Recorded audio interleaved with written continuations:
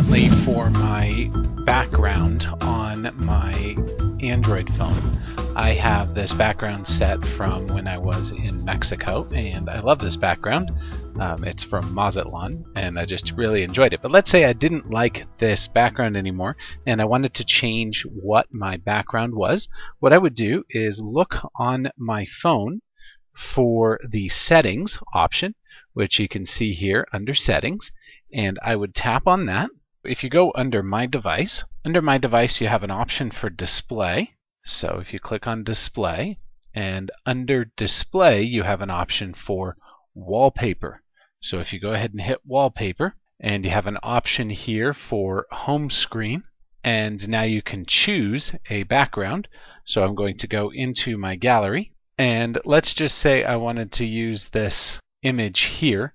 Trying to understand the behavior of some people is like trying to smell the color 9. So I would tap that image, and I would select that one and it would ask me if I want to crop it to make sure it's going to fit the background and I'll go ahead and crop the picture and maybe this won't fit exactly like I want it to on my background but you'll want to find a picture that will display the way you want it to. You can size it down of course if you wanted to change the sizing of it but I'm going to expand it out. And you'll see these little side screens here.